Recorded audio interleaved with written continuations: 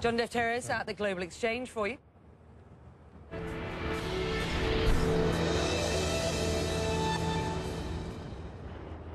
Well, as we noted here in our conversation with Becky, uh, oil and gas are the key ingredients to Russia's economy. But there's a realization in Italy right now that it's art and culture that can have a big payday in the future, so much so that the Made in Italy brands are stepping in to help the government as well. That's the subject of this week's One Square Meter.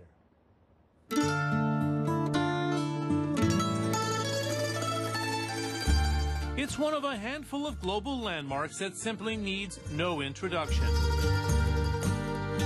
Via a tunnel once used by gladiators, I take in a ground level view of this iconic symbol of Imperial Rome. From the City Hall with a breathtaking vantage point of it all, the mayor of Rome admits Italy can no longer manage its vast historic portfolio alone.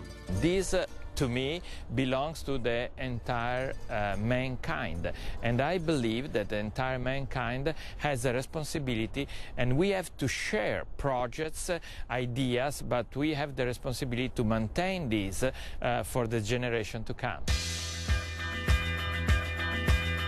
The Colosseum, for example, brings in nearly $50 million each year, according to site manager Rossella Rea. But she told me most of it goes to pay for less visited treasures.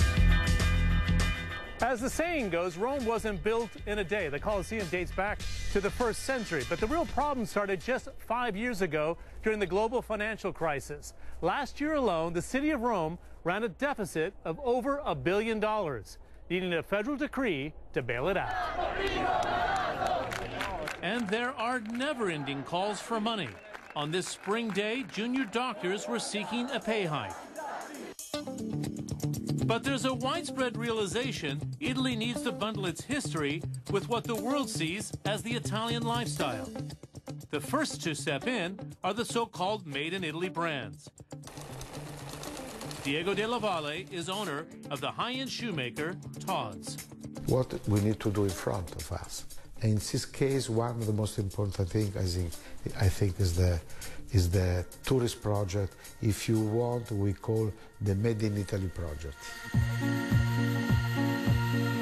DDV, as he is known, is spending $34 million on a five-year scrubbing of the travertine marble front of the Colosseum. Bulgari is putting $2 million into the Spanish Steps, and fashion house Fendi has ponied up nearly $3 million into the equally famous Trevi Fountain.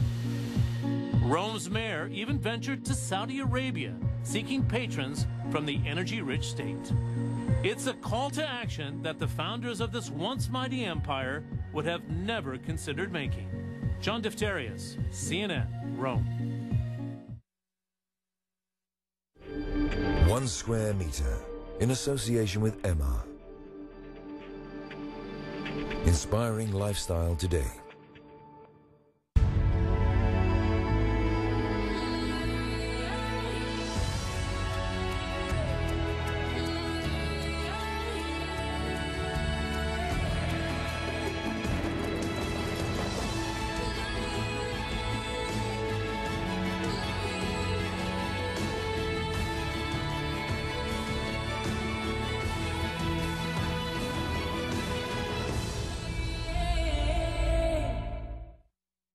Energy Bank Ghana is one of the